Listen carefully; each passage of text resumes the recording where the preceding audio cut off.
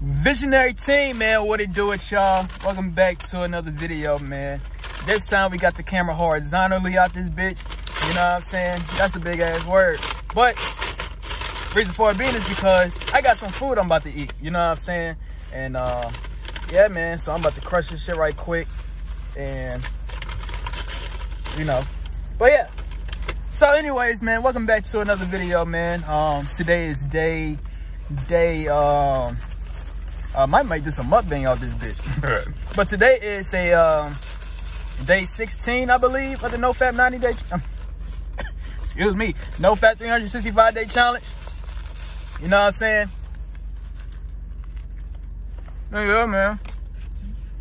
You know, I just finished from my job that I got. You know what I'm saying? You know, I, I work at all female jobs off this bitch. You know, and um,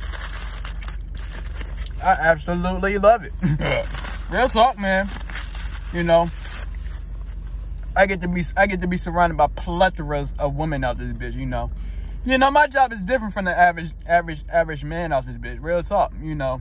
Um yeah, man, you know. I got a dream job out this bitch, man. I ain't gonna sit back and lie. You know, all my all my jobs are dream jobs, you know. But um I'm gonna make a video on that tomorrow out this bitch. We're the visionaries. But yeah, man. Um I might, I might, I might call this a mukbang out this bitch, you know. Fuck we gonna call this shit a mukbang. We gonna call this a no fap challenge and the mukbang. So look, man, you know, I'm eating Sheetz right now, you feel me? She's got some good ass food. I ain't gonna sit back and lie.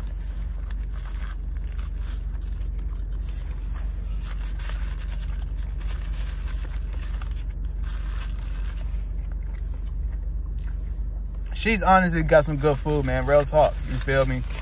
Um, but yeah, man. So, but yeah, today is day 16 of my no fap journey, and you know, feeling good, man. Feeling great. You know, I can feel. I will always say this. You know, like um, how can I describe this? When you on no fap, man. When you on no fap, and if this phone automatically stops, that's because I don't have no storage space on this phone. So it just stops randomly, that's the reason why. But if you have um you know, when you get on no fap, every single time when I'm on no fap, man, you feel me? Something inside of me comes alive. And what I mean by that, it's like it's like a it's like my spirit becomes alive about this bitch. I don't every single time. When, whenever, whenever I be fapping all the time, I'll be on day zero, day one off this bitch. You know, it's like it's like I don't feel that. You know what I'm saying? But when you get hype on the days, man, when you get hype on the days, you'll feel something inside of you just comes alive. You'll just be like, and it, it, it's, it's, like I don't know what it is. It's I guess I guess it's your spirit out this bitch. You just randomly come alive out this bitch. You know what I'm saying? Because you got to think about it. It does give you energy and shit like that. You know, so you know that's why I love to be on no fap, man. When you're on no fap, life is always great. I said it in my video yesterday.